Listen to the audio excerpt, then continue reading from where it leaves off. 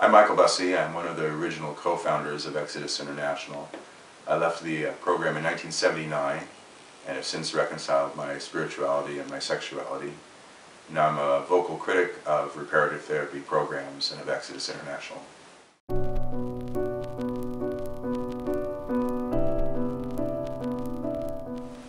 If you didn't know that there was a gay community when you were at Exodus, how did you sort of paint what life would be like for people if they left the program? Because that's a big that's a big portion of the ex movement now is is vilifying the homosexual lifestyle, which Right. embodies all these horrible things. Right, right, exactly. The only picture we had of, of the gay community was our own personal experience of being closeted and compulsive.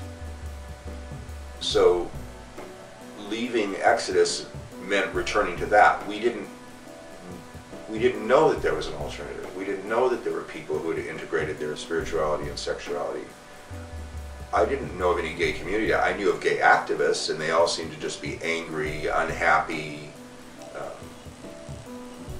anti-Christian, you know, people. And I, I, I, so I didn't really sense that there was any sort of gay community that I could that I could go to.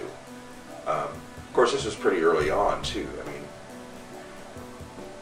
the gay movement was not you know, it's still in its infancy then. Stonewall was 1969. Uh, the American Psychiatric Association didn't re- remove it from its list of disorders until 74. Exodus was formed in 76.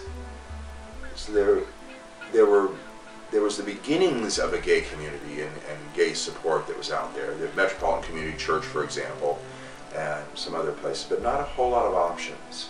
And we, we taught that, Mel, uh, that Mel, uh, Metropolitan Community Church was just of the devil.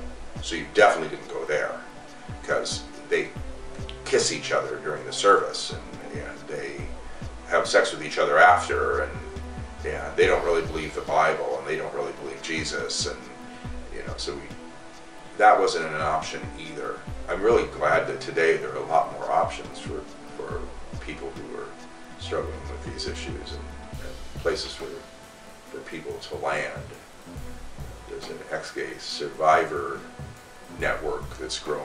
There's gay Christian organizations online, Facebook groups, and discussion groups. There's a there's a wealth of, of, of uh, resources now that there weren't then.